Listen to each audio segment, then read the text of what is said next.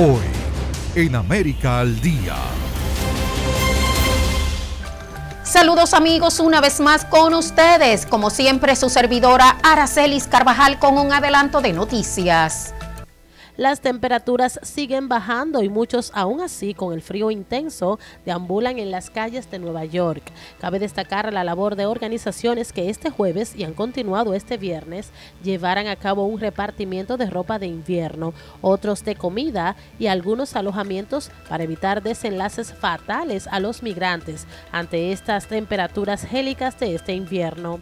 Los detalles a las 4. Tenemos informaciones en América al día de esta y otros acontecimientos que se dan y sobre todo el mal tiempo, el frío intenso en toda el área triestatal. Mantenga la sintonía con nosotros. Infórmese.